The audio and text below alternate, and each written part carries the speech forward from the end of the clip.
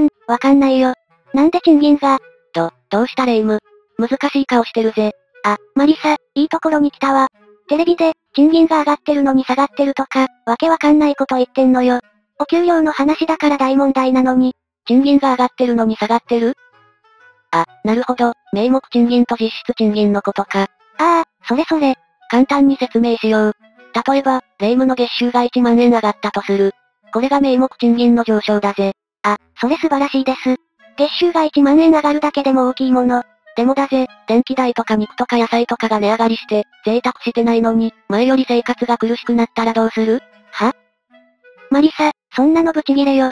ダメに決まってんじゃん。うーん。確かに。まあ、これが実質賃金というやつなんだ。名目賃金から物価の上昇を割り引く。実は日本はずっとこの実質賃金の増加率がマイナスなんだよ。つまり、名目賃金は上がってるが、実質賃金が下がってるんだ。え？ダメじゃん、ダメじゃん。全然ダメじゃん。いや、落ち着けレイム。ここは意外と難しいテーマなんだ。今、多くのエコノミストが、2024年の夏以降、実質賃金がようやく上がるという予測を立てている。みんなの念願、実質賃金の上昇。これが今年来るかもしれない。しかし、背景は複雑で、予断を許さないんだ。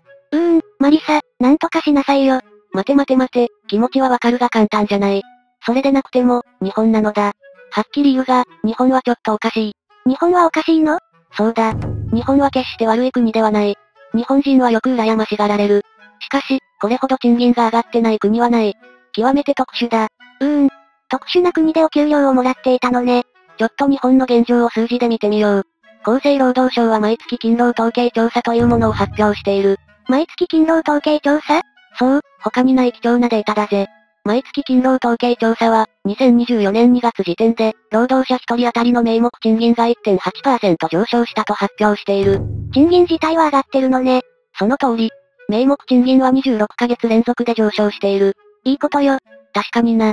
他の先進国に比べると、実に少しずつだが、日本人の名目賃金も上がってはいる。でも実質賃金は違うの？待て待て。まず物価だ。実質賃金は名目賃金と物価から成り立っている。2024年2月の消費者物価指数の上昇率は3.3%だった。物価の上昇が3.3%。結果的に、同じ2024年2月のデータで、実質賃金の上昇率はマイナス1.3%だ。ダメじゃん、ダメじゃん。実質賃金下がってるじゃん。しかも23ヶ月連続で下がり続けている。名目賃金が26ヶ月上がり続けているのに、実質賃金は23ヶ月も下がり続けているの？そうなんだ。楽しみは今年の夏以降なんだが、ここまでは正直なところ生活が楽になっていない。なんでよ？なんでそうなるの？二つに分解して解説していこう。まず名目賃金。なぜここの上がり方が小さいのかだ。そうか、名目賃金がいっぱい上がればいいものね。日本はとにかくこの名目賃金が上がりにくい。そのからくりを考えていくぜ。お給料に近いところで、まず春闘の話からしてみよう。霊夢は春闘って聞いたことがあるかい？うん今年の春は満額回答とか、盛り上がってたよ。そうなんだ。今年の春はなんと、5%の賃上げを達成した。5%? 大きいよね。そうなんだ。大手企業で、ベースアップが2万、3万と景気の良い話が出た。海外では全く珍しくないんだが、日本でこれだけの賃上げは実に33年ぶりなんだぜ。33年ぶり？そんなに？それだけ日本の給料は上がってなかったのね。そうなんだ。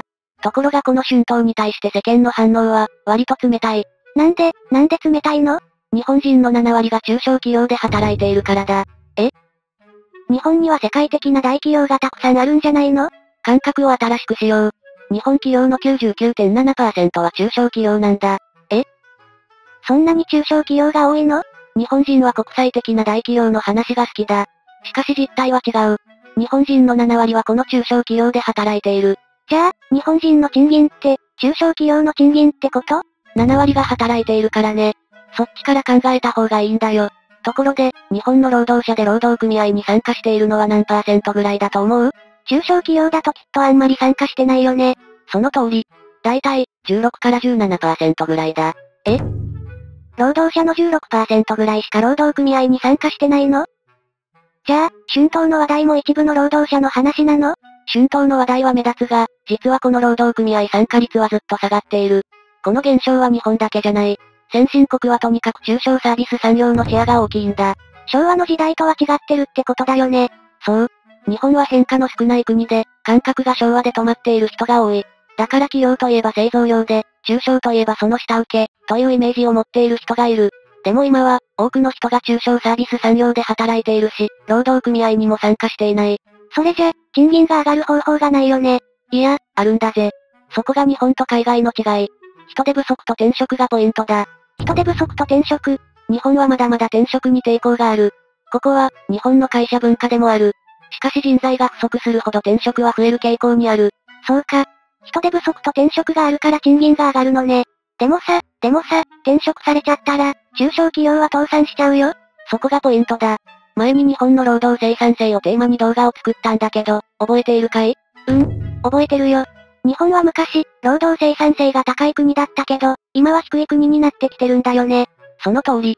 中心国にも負け始めている。一方日本はもう製造業の国ではなく、中小サービス産業大国に変わっている。そうか、中小のサービス産業の生産性が変わらないと、日本の賃金は上がらないんだね。日本人は昔のドラマの影響なんかもあって、中小企業の倒産イコール絶望と考えているところがある。ところが経済が好調な国は、みんな先見の明を重視している。そして中小企業ほど、この先見の明ってやつが本当は得意なんだ。中小企業が先を見ながら常に変化していくイメージなのね。もちろん倒産もある。しかし、日本とイメージが違うんだ。悲劇的に考えすぎると、いつまで経っても日本の中小企業の生産性は上がらない。そして日本人の名目賃金も上がったとしてもごくわずかだ。ちょっとわかってきたよ。日本のお給料にも希望はあるんだね。そうなんだ。現実をよく見て、海外の感覚も参考にしながら、少しずつ中小企業の生産性を上げていく。変化を恐れないようにしたい。物価の話も教えて、マリサ。なんで物価が上がってるの？今回の物価上昇を見ても、つくづくインフレは輸入されると思うよ。インフレが輸入される？ちょっとからくりを説明しよう。日本のゼロ金利政策とかマイナス金利政策ってわかるかい？うーん、なんとなく。お金が借りやすくなるってことだよね。そうなんだ。日本銀行はお金をみんなが借りやすくするように、金利を下げてきた。さらに長期の金利も下げて、お金の回りを良くしてきたんだ。それはいいことじゃないの？理屈の上ではね。もし、他の国の金利が急に上がったらどうなる？え？日本は金利が安くて、他の国は高いの？そう。大国間で金利に差が大きくなると、決まってある現象が起きる。一方の国からもう一方の国にお金が流れるんだぜ。理由は債券の価格だ。金利と債券価格は逆の関係になる。つまり、アメリカの債券が安くなって買いやすくなる。そうか、金利が安い国のお金で、高い国の債券を買うんだね。今、日本は急激に円安になっている。これはアメリカを中心に大国が金利を上げたからなんだぜ。どうして金利を上げたの？まず、パンデミックが大きい。次にヨーロッパで戦争が起こっている。こういった変動が、不安と物不足による物価上昇を引き起こす。こういう急激なインフレを抑えるために、中央銀行は金利を上げるんだ。そうか、物価が上がりすぎちゃいけないってことなのね。ヨーロッパもアメリカも、とんでもなく物価が上がっている場所がある。これを抑えるために金利を上げる。日本は何もしないと、どんどん円安になるね。そうか、それで物価が上がると。その通り。物価が上がる要因は複雑だ。しかし今の日本はまず為替レートに注目する。これだけ円安になれば物価は上がる。輸入品が割高になるってこと？その通り。例えば食料で考えよう。カロリーベースで日本の自給率は40%を切っている。これってどういうことかわかるかい ?6 割を輸入してるってこと？その通り。日本人が摂取しているカロリーの6割以上は海外で作られている。だから、為替の影響を強く受ける。一方、アメリカやフランスは食料自給率が100%を超えている。ドイツ、イギリス、イタリアも自給率が50%を超えている。え？日本ってそんなに輸入してるんだね。先進国が食料を輸入しているというのは嘘なんだ。多くの国はしっかり自分の国の中で食料を生産している。しかし日本は輸入に大きく頼っているので、じわじわと円安で物価は上がっていく。マリサー、最近お菓子が減ったの。お菓子が減った？そうなの。スーパーで売ってるお菓子の値段は変わってないんだけど、中身が減ってるの。確かにな。まさに今の日本だよ。賃金上昇は感じないから値上げはできない。そこで分量を減らす。これも物価上昇なんだよね。もちろん。食品関係はタイムラグがあるけど、しばらく厳しいね。世界の様子を見て、日銀も久々に方針転換をかけた。少し金利を上げないと、袋叩きにされてしまう。でもさ、円安を我慢した方が、日本製品は海外で売れるんだよね。いや、そこを否定したいところなんだ。日本企業の生み出すものやサービスが、国際競争で負け始めている。円安はこれに対するドーピングだ。ドーピング？そうだ。円の値打ちを下げれば確かに国際競争で勝ちやすくなる。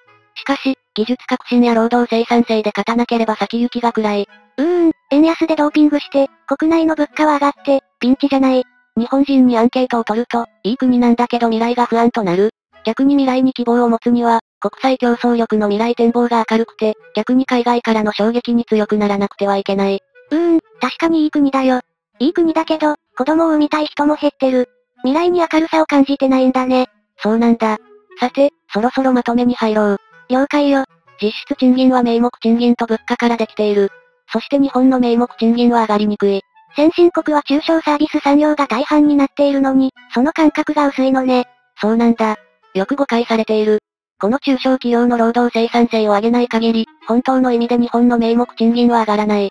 人手不足と転職がテーマになるだろう。物価は外からやってくるのね。そうなんだ。世界はまだまだ不安定だし、日本は強く為替の影響を受ける。一部大企業の賃金だけ上がって、食料品や日用品の値段が上がったら、ますます格差社会だ。だから日本中で実質賃金の行方に注目しているのね。日本が貧しい国になっていかないように考えていこう。本日もご視聴いただきましてありがとうございました。また見てくださいねありがとうございました。